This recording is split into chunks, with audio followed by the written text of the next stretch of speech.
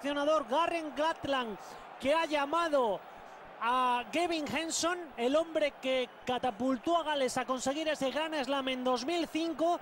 Un país de Gales que juega con 13 jugadores del Ospreys, un club que ha ganado en Liga y en la Heineken Cup a Worcesters, Gloucester, Harlequin y London Irish. Eso quiere decir algo.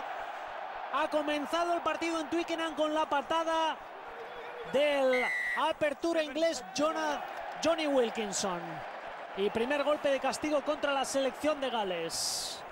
el principio del partido, un saque corto para que el equipo inglés pueda disputar el balón y eh, de momento la primera falta cometida por País de Gales no puede regalar desde el minuto uno porque se puede poner en su contra rápidamente el partido.